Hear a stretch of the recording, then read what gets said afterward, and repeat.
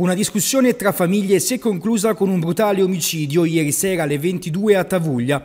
Una coltellata è stata fatale per il 38enne albanese Dritan Idriz, già noto alle forze dell'ordine. Le indagini sono in corso, ma secondo le prime ricostruzioni la lite sarebbe scoppiata tra famiglie di origine albanese, degenerando rapidamente in violenza. Durante lo scontro in via San Giovanni almeno quattro persone sono rimaste ferite e sono state trasferite all'ospedale di Pesaro per le cure necessarie, mentre la vita vittima è deceduta all'ospedale di Cattolica dove era stata trasportata in condizioni disperate per un intervento chirurgico d'urgenza. I carabinieri intervenuti sul luogo dell'omicidio sono al lavoro per ricostruire l'accaduto e chiarire il movente del brutale omicidio. Secondo quanto si apprende la vittima si trovava a Tavuglia per riscuotere un credito.